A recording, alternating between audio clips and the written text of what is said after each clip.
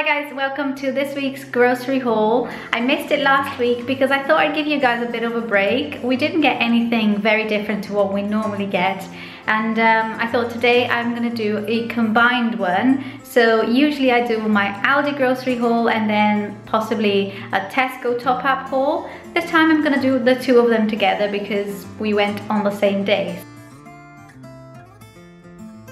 So I'll show you what we got in Aldi and Tesco together and then at the end I'll tell you how much it all cost.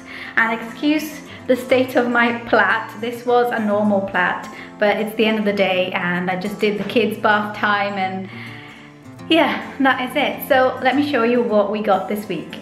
So this is everything we got for the week. I'm gonna start with the Aldi stuff. So over here we've got three packs of the all butter croissants, they are our favorite. And then we have some white bloomer traditional bread.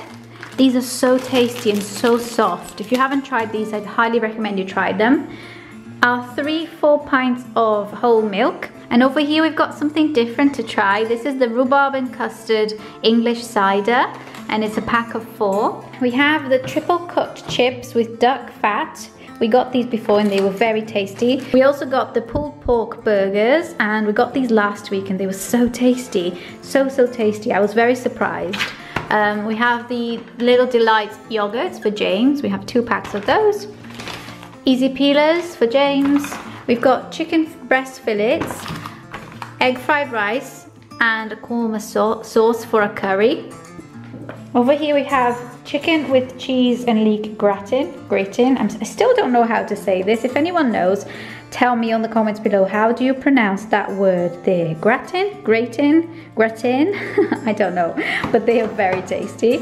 We've got two packs of the red seedless grapes. We have two smoked um, haddock fillets and we have the Scottish cooked mussels again. We have been really enjoying these.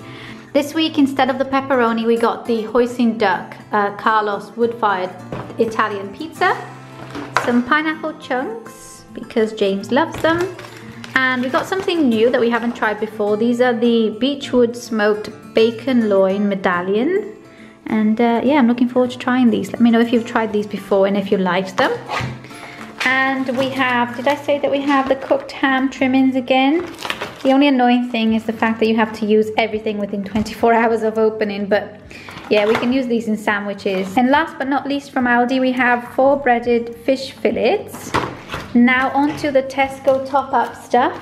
So in Tesco, we got two packs of water wipes because we used those on our little baby girl. We've got Colgate toothpaste, daily repair.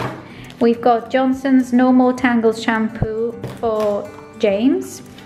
We've got Lynx Africa, what's that, body wash for my husband.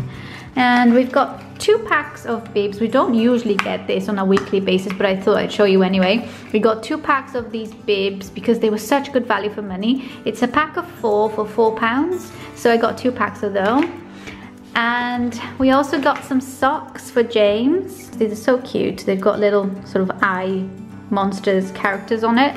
And we also got him a pair of sandals because the weather has been lovely outside and he's outgrown all of his sandals from last year. We got a pack of 20 uh, bin liners. Um, I never know which one to get. I just get whatever one I think will fit our bin. Then we have James's Annabel Karmel meals.